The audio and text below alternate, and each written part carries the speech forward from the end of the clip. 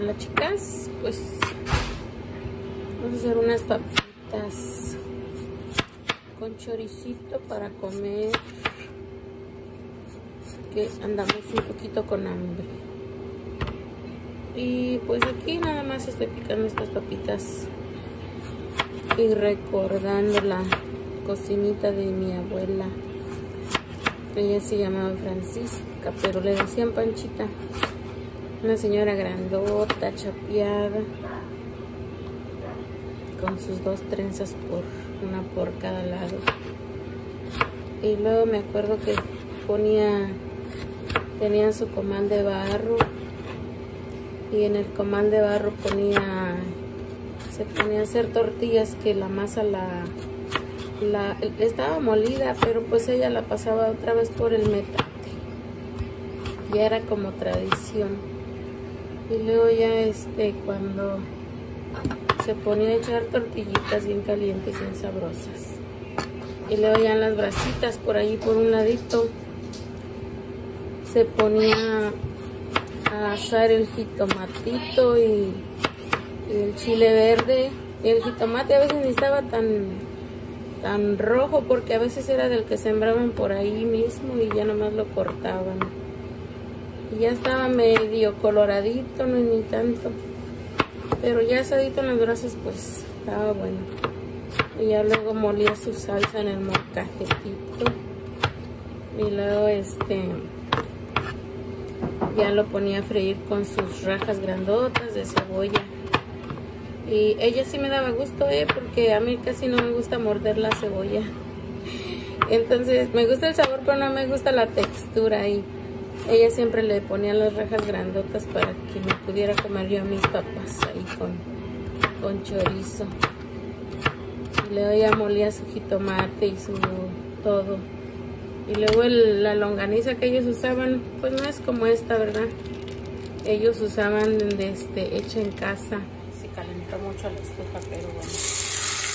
Y luego ya ellos la, ellos la hacían la longaniza ahí en la casa. Pues me recuerdo. Que, que hacían la longaniza, la pasaban por un molinillo. Y luego ya cuando ya estaba bien molinita, ya le iban poniendo en la, misma tripita. Y luego ahí, este, me acuerdo que, que la ponían en unos tendederitos y la ponían a secar para que no se les fuera a echar a perder, porque pues no había refrigeradores, muchachos. Entonces ellos hacían su tendedero de, de longaniza ahí casi cerquita de la chimenea. Y ya cuando la hacían, pues ya estaba media doradita, asadita, sequecito, ¿verdad? Bien bonito la longaniza, el chorizo.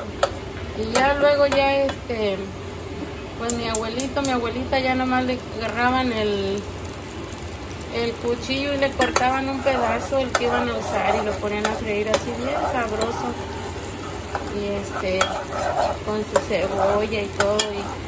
Su chilito ahí ya de la salsa lista y ya ponían ahí a freír el chorizo con, con la salsa, ¿verdad? Y luego las papitas ahí. No, hombre, quedaba una chulada, ya. Y con las tortillas recién, pues miren así, así era como hacían las papitas ellos bien sabrosas, pero pues yo ahora no las voy a hacer así, yo las voy a hacer nada más con longaniza y todavía estoy pensando si le voy a poner huevito aquí. Y este, pues ya eso ya es al gusto, ¿verdad? Pero así era como mi abuelita, mi abuelita Pancha le decía yo, nos hacía las papitas en esa fogata tan bonita que prendían. Y en ese comal de barro las tortillas de maíz. Vamos a este plato de papitas se puede comer así por chorizo nada más o lo puedes combinar con unos huevos estrellados o le puedes poner huevito aquí, se lo revuelves y queda delicioso para tu lonchecito.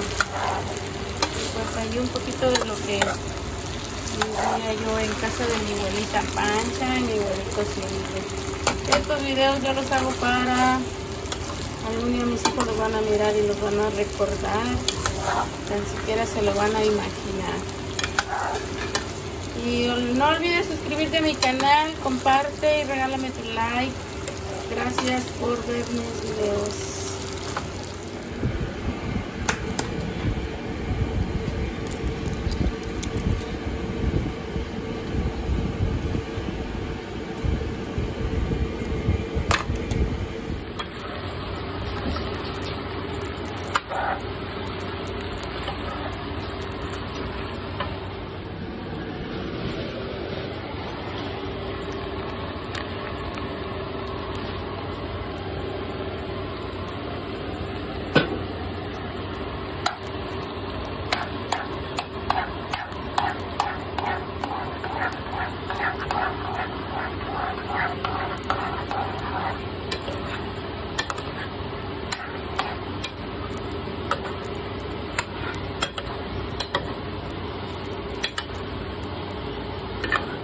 así quedó nuestro huevito con papas. Miren, bien sabroso. Y este lo podemos poner como nosotros querramos, ¿verdad? Lo podemos poner con una tortilla de harina, poquitos frijolitos. Esto queda delicioso.